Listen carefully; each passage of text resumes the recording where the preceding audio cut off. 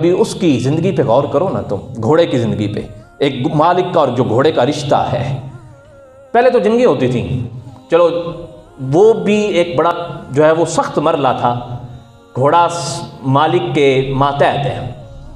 जंग में लेके जाएगा तो फिर भी जाएगा। सामने से तीर आ रहे हैं, घोड़े ने ये नहीं कहना कि नहीं नहीं, मैं मौत के मुँह में मुझे डालने लगे मुझे कहाँ लेके जा रहा है? उसने जाना है। मालिक ने एड़ी लगाई है, उसने चलना उसको पता है, इशारों पे चलेगा। उसके अंदर ये चीज़ नहीं कि वो बिदक जाए, इधर हो जाए, उधर हो जाए। अच्छा फिर जिसको घोड़े को टांगे में जूत दिया गया, रेड़े में लगा दिया गया, सुबह लगाया, शाम तक वो चलता रहा, चक्कर काटता रहा। अब देखो ना ज़रा रब जलाल ने इंसान को कैसी सहूलतों से माला माल किया हुआ है कि जब तुम्हारा दिल करता है, जो कुछ करता, करने को तुम उस तरह करने के लिए उस तरह की सूरत हाल अपना लेते हो।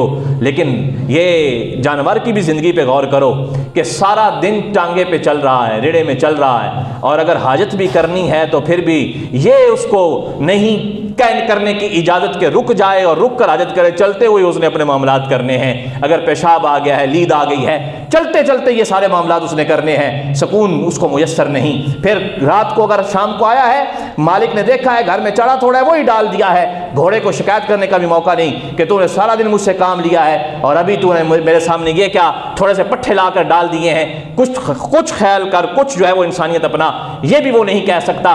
फिर वो सुबह उसको जूता गया, जीन रख दी गई। अगर जो है उसकी कमर पर जख्म है। वो ये नहीं कह सकता कि नहीं नहीं, ये क्या कर रहे हो? मेरे पहले ही जख्म बड़े हैं तो मुझे फिर जो है वो रेड़े के आगे लगा रहे हो।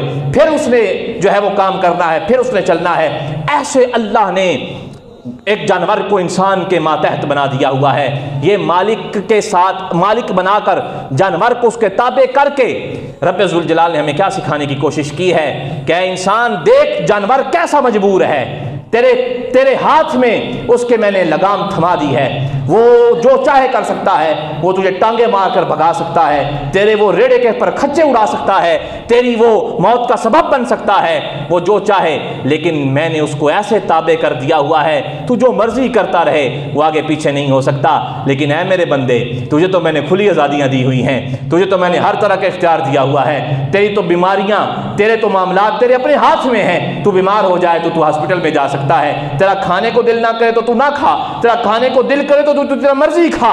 तेरे पूरे इख्तियार तेरे पास मौजूद हैं। हर तरह की सूरत तेरे पास मौजूद है। ये रब जलाल ने हम पर कितनी जो है वो आसानी और आसाइशें फरमा दी हैं। अगर चाहता रब तो हमें भी किसी के मातहत कर देता, हमें भी किसी का गुलाम बना देता, हमें भी किसी के, हमारी भी लगाम किसी के हाथ में थमा देता। ये तो रब की मर्ज़ी है। ये तो रब का, रब की मंशा है। लेकिन रब की मंशा देखो कितनी प्यारी है कि उसने हमें हर तरह से आज़ाद पैदा किया, हर परेशानी से दूर रखा, हर मुसीबत से दूर रखा। अब मेरे महबूब ने फरमाया, जब रब तुमसे इतना प्यार करता है तो अब तुम्हारा भी तकाजा ये है, तुम्हारी भी इंसानियत का तकाजा ये है कि तुम भी अपने रब से कम अज़ कम कदम बढ़ाओ मोहब्बत के अतबार से, प्यार के अतबार से और बंदगी अपने दिल में, अपने जिसम में तारी करो।